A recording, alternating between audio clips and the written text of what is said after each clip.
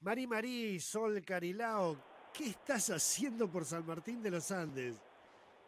Mari Marí Lamien, ¿cómo está? Nosotros estamos acá en San Martín ahora, realizando unos telares, que es, para el que no sabe, eh, vamos a concursar al récord Guinness de Chile, Temuco, que se va a realizar. Y estamos haciendo un ensayo acá en San Martín, enfrente del lago, en este momento. Son 500, entre 500 y 600 tejedoras, em, pero eh, de acá de la Patagonia solamente somos 12 seleccionadas, así que estamos en este momento 12 tejiendo acá en San Martín. La verdad que estamos muy contentas porque el, eh, la oportunidad, ¿no? Y aparte del ensayo que está saliendo precioso, así que, y los días se ha prestado, así que estamos muy, muy contentas con eso. Está muy lindo realmente. Sol, bueno, tienen que coordinar porque la idea es eh, confeccionar una matra de un kilómetro de largo, ¿verdad? Sí, exactamente. Vamos a hacer una matra de un kilómetro. Cada tejedora va, va a tejer eh, un telar de dos metros de largo por 50 de ancho y eso lo hay que realizarlo en dos días para completar el, el récord Guinness, ¿no? Claro, ¿y la coordinación qué significa? Que más o menos eh, todas hagan el mismo, el mismo diseño, ¿verdad? Con los mismos colores, etcétera. Exacto, sí, sí, todas vamos a hacer el mismo diseño, los mismos colores, porque es para que una vez uniendo todos los telares, eh, queden todos igual, eh, o sea, sea el mismo, ¿no? y que, y que completemos el kilómetro. Así que estamos muy, muy contentas. Estamos mostrando acá eh, a todos los que están, por lo menos en esta oportunidad acá en San Martín, mostrando y comentándoles, porque bueno, es algo nuevo también, que no que el único récord que, que hay de telar es en China, así que nosotros queremos eh, traspasar ese récord que tienen ellos y, y hacerlo con la, con la cultura mapuche también. Somos parte.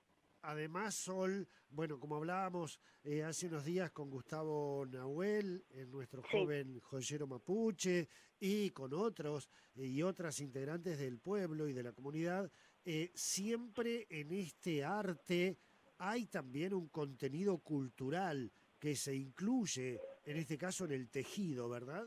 Así es, así que este es lo vuelvo a decir, es una oportunidad muy muy muy buena para, para mostrar lo que uno hace, eh, siendo parte de la, de la comunidad mapuche, y que somos mapuche y, es lo que hay en, en toda esta, esta parte de la Patagonia, en todo el mundo, ¿no? Pero en la Patagonia que somos mapuches, eh, mostrar esto y llevarlo más allá de lo que, de, de que estemos acá nada más. Hay muchas comunidades que uno incluso aunque esté dentro de la comunidad no conoces, entonces estas son oportunidades que también te da a conocer otras tejedoras, charlar, eh, conocimientos que hasta uno a veces tampoco sabe, pero otras sí, entonces uno va eh, enriqueciéndose de todo eso. En realidad el telar, o sea, la tradición mapuche es de muchos colores. Eh, siempre distinguen como que si fuese blanco, negro, gris, pero la, la realidad es que en realidad son muchos colores. Y lo que nosotros estamos presentando ahora es el Redmu, que es el arco iris, obviamente eh, cambiándole un poco el énfasis del, del arco iris, pero tratando de demostrar eso y dándole todos los colores que, que hay. Nosotros acá estoy con la, la coordinadora, con Zulma Cayul. Hola. Ah, Zulma, buen día. Buen día. Ahí están trabajando firme, hemos visto estos últimos días eh, cómo han estado trabajando. La coordinación de todo este trabajo, ¿en qué consiste, Zulma?